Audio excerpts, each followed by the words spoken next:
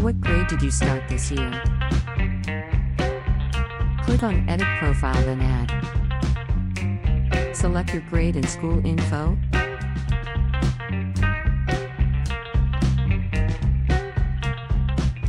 Update dates for this year. Scroll down and save. You're looking pretty awesome.